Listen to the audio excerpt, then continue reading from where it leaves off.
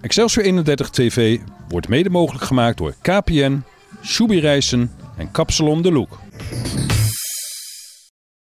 Excelsior 31 TV gaat de samenwerking aan met zaterdagvoetbal.tv. Hoe is Excelsior 31 in contact gekomen met deze website?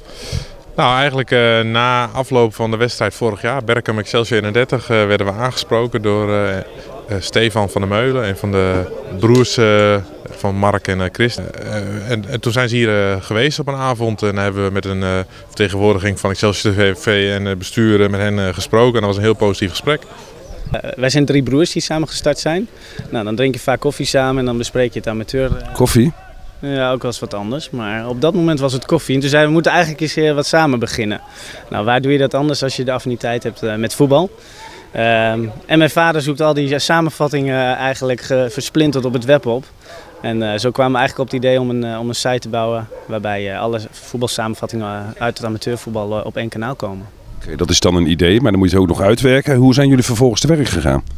Tijd vrijmaken, dat was het lastigste. uh, nee, we zijn te werk gegaan door uh, een partner te zoeken die snel een site, zodat we snel konden gaan beginnen. Uh, en ja, de beelden die we vonden op het internet te verzamelen en op, op de site samen te zetten. en dat overzichtelijk aan te bieden en social media te gebruiken om, om kijkers, te, ja, kijkers te vinden. Ik eh, denk dat we bij Excelsior TV ontzettend trots mogen zijn op wat we doen. Ehm, een hele mooie samenvatting. Maar ik moet ook eerlijk zeggen dat ik uh, op uh, zaterdagavond eens kijk van hey, volgende week spelen we tegen zeg maar, het ACV.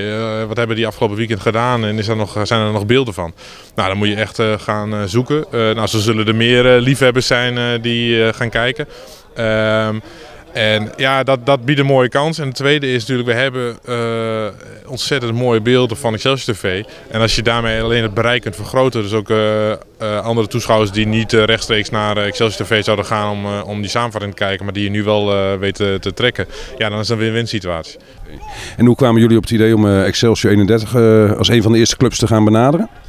Nou, dan word ik heel complimenteus, uh, omdat die de beelden zo goed voor elkaar hebben. Die hebben een, uh, een voorbereiding en die, de beelden zijn heel snel online.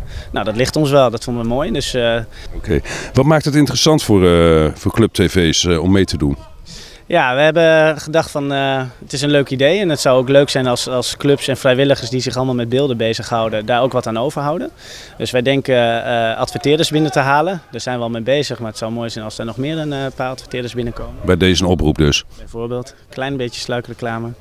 Ehm, nee, maar dan zouden wij graag die inkomsten allemaal willen delen. niet helemaal verdelen onder de onder clubs, maar willen delen met de clubs, zodat de clubs daar ook wat aan, aan verdienen. Zodat we de massa ja, verzilveren eigenlijk. Oké, dus dat, is, uh, dat was eigenlijk de volgende vraag. Wat maakt het interessant voor de sponsoren? Maar dat zijn dus de, de reclames tussendoor.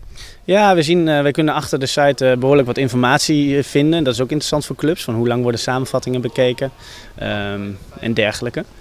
Maar ook voor sponsors. We zien ook dat heel veel kijkers toch nog wel een extra samenvatting kijken.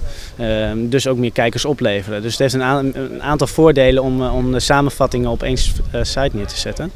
Ehm, nou ja, en ik denk dat het voor clubs interessant is om daar inkomsten dus uit te genereren. En voor huidige sponsors, die kunnen gewoon blijven bestaan in de filmpjes, worden ze vaker bekeken en landelijker gezien. Dus dat is interessant. Okay, wat, zijn, wat zijn dan echt de voordelen van Excelsior 31 TV, maar met name ook voor de club? Nou ja, ik denk voor de club inderdaad dat, dat wij eh, onze, onze bereik groter wordt. Dus dat we meer, uh, meer kijkers kunnen trekken naar uh, ons kanaal, onze Club TV. Dat is één.